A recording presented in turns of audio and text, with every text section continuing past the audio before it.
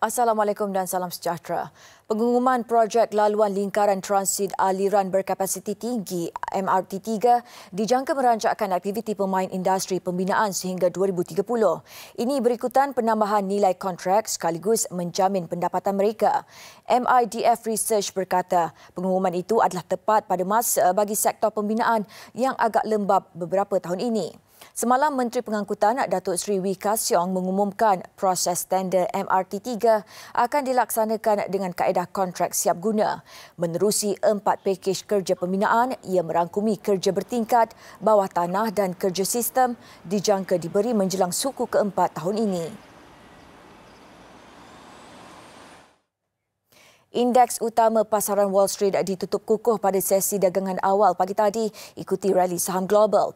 Ia selepas Rizal Persekutuan Amerika Syarikat Fed meningkatkan kadar faedah pertama kali sejak 2018 bagi mengekang peningkatan harga barangan yang menjejaskan ekonomi negara terbesar dunia itu.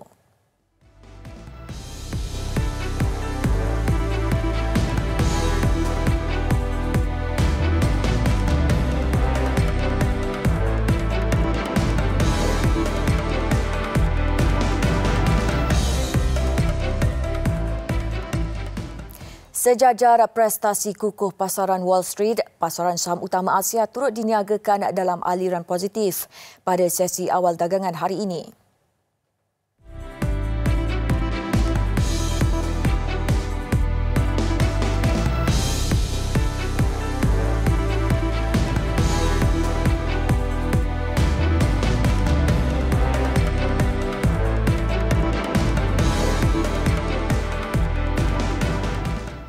Beralih ke pergerakan saham dan mata wang tempatan.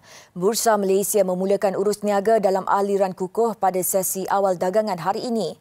Pada jam 9 pagi, indeks FBM KLCI menukuk 9.86 mata kepada 1581.18.